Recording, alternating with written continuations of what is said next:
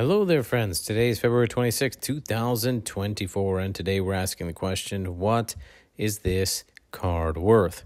It's an Albert Pujols from the 2023 Topps Allen and Ginter baseball card set. It's a spotless spans, card number SS 41, and it's celebrating the three home runs in a game that he had in October 22nd, 2011. So, a uh, pretty cool card, a very dynamic player. Um, has that old school vibe to it, as all the Allen and Ginters do. However, it's important to realize that this is also a base set filler. Uh, because he really doesn't have nearly as much of an impact upon the game right now uh, we have to consider that maybe it's not worth as much as you want it to be. Uh, because of that, we're seeing it sold anywhere from a dollar to two dollars.